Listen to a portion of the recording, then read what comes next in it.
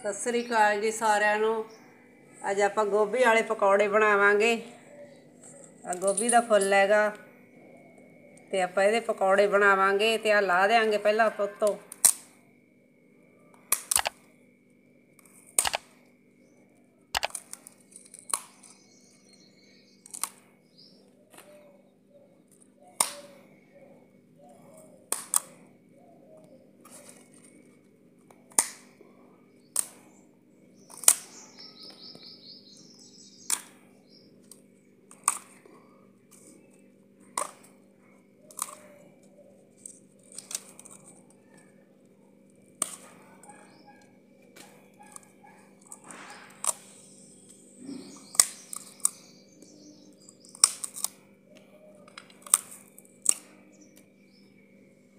ਆਪਾਂ ਇਹਨੂੰ ਵੀ ਲਾ ਦੇਾਂਗੇ ਡੰਡਲ ਨੂੰ।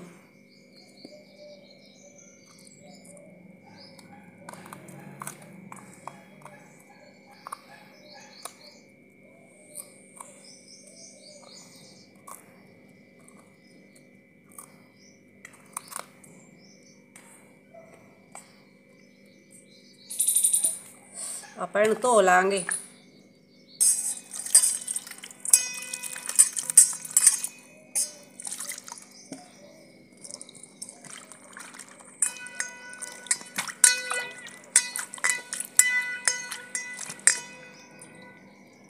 ਆ ਹਰੀ ਮਿਰਚ ਹੈ ਕਿ ਵੀ ਧੋਵਾਂਗੇ।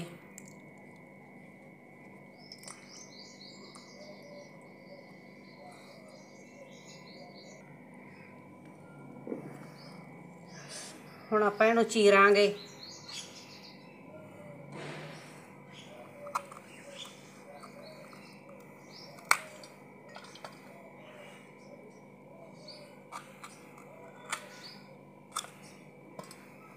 ਇਸ ਤਰ੍ਹਾਂ ਚੀਰ ਲਾਂਗੇ ਆਪਾਂ।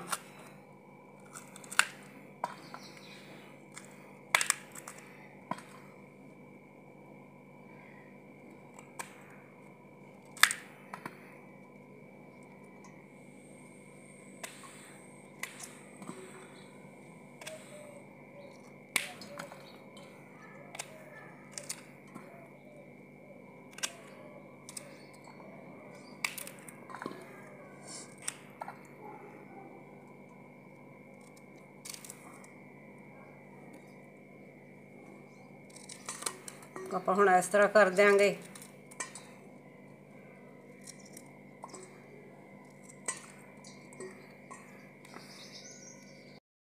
ਹੁਣ ਆਪਣਾ ਆਹ ਵੇਸਣ ਹੈ। ਬਾਟੀ ਥੋੜੀ ਜਿਹੀ ਹੋਣੀ ਹੈ ਤੇ ਆਪਾਂ ਇਹ ਪਾਵਾਂਗੇ, ਘੋਲਾਂਗੇ।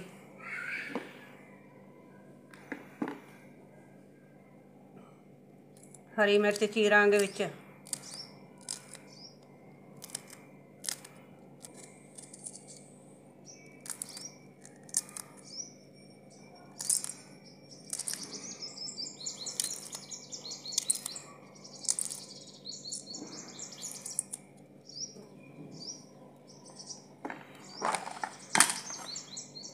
ਹੁਣ ਆਪਾਂ ਲੂਣ ਮਿਰਚ ਪਾਵਾਂਗੇ।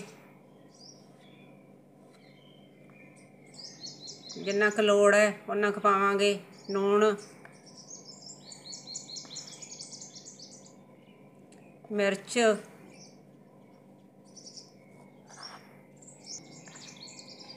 ਆਪਾਂ ਜੀਰਾ ਪਾਵਾਂਗੇ।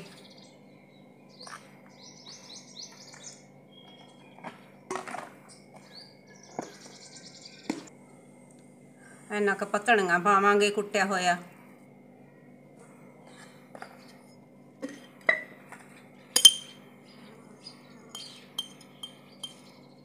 ਇੰਨੀ ਕੁ ਕਾਲੀ ਮਿਰਚ ਪਾਵਾਂਗੇ।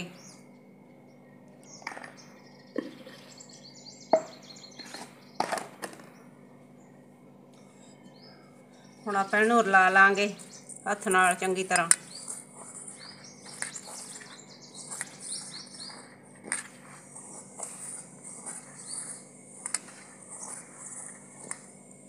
ਹੁਣ ਪਾਣੀ ਪਾਵਾਂਗੇ।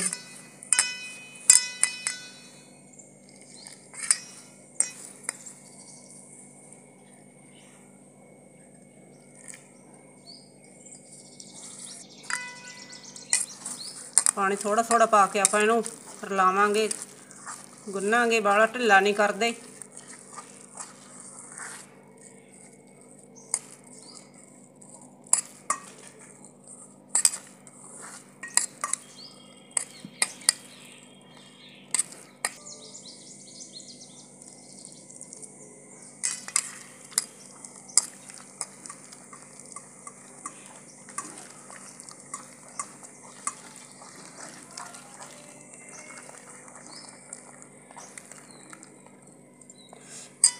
ਹੁਣ ਆਪਾਂ ਗੋਭੀ ਵਿੱਚੇ ਪਾ ਲਾਂਗੇ ਚੀਰੀ ਹੋਈ।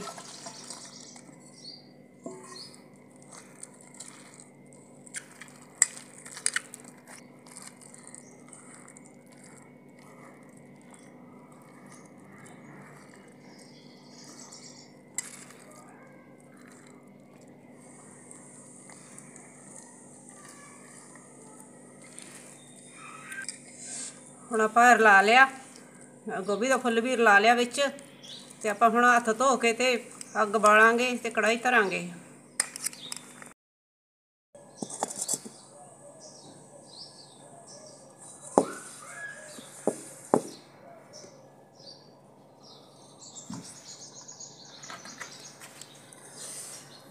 ਪਰ ਫੈਂਡ ਪਾਵਾਂਗੇ।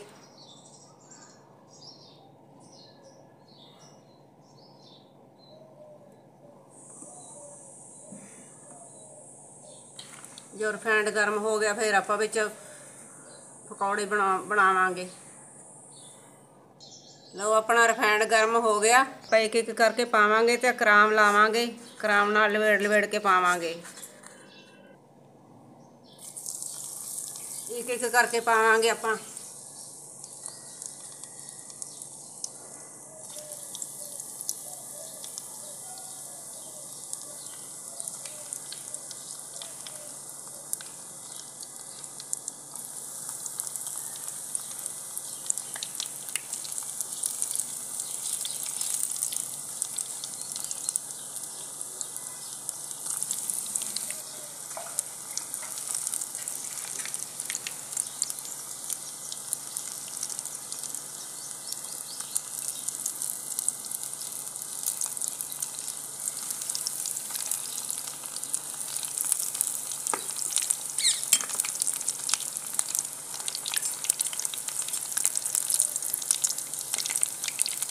ਜੋ ਰੰਗ ਬਰੌਂਦ ਹੋ ਗਿਆ, ਚੰਗੀ ਤਰ੍ਹਾਂ ਰੜ ਗਏ ਉਦੋਂ ਆਪਾਂ ਕੱਢਾਂਗੇ। ਲਓ ਹੁਣ ਰੰਗ ਬਰੌਂਦ ਹੋ ਗਿਆ, ਚੰਗੀ ਤਰ੍ਹਾਂ ਰੜ ਗਏ ਪਕੌੜੇ ਤੇ ਆਪਾਂ ਕੱਢਾਂਗੇ।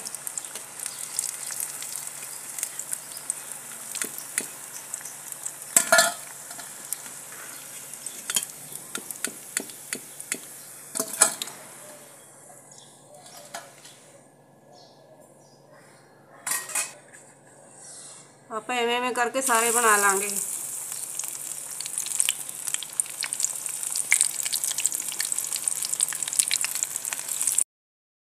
ਪਕੌੜੇ ਬਣ ਗਏ ਸਾਰੇ।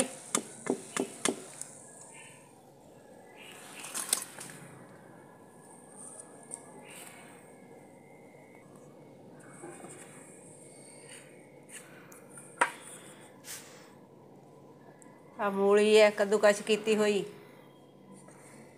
ਨਾਲ ਖਾ ਸਕਦੇ ਆ ਇਹਦੇ। ਨਾਲ ਚਟਣੀ ਹੈ। ਵੀ ਦੋਨੇ ਦੋਨੇ ਚਟਣੀਆਂ ਨਾਲ।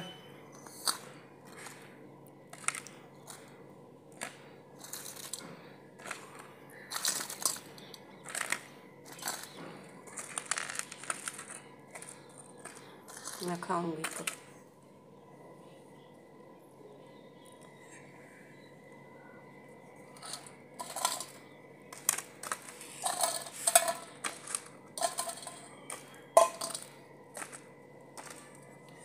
ਦੇਖੋ ਆਪਣੇ ਪਕੌੜੇ ਕਿੱਡੇ ਵਧੀਆ ਬਣੇ ਐ।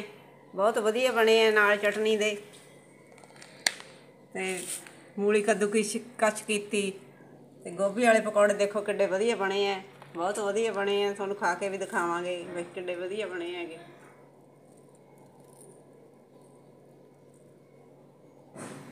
ਥੋੜੀ ਜਿਹੀ ਸੌਸ ਲਾਵਾਂਗੇ, ਚਟਨੀ।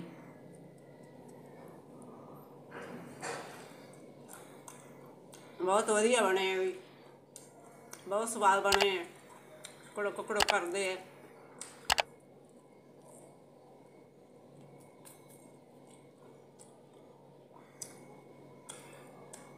ਖਰਾਰੇ ਬਹੁਤ ਬਣੇ ਆ, ਬਹੁਤ ਵਧੀਆ।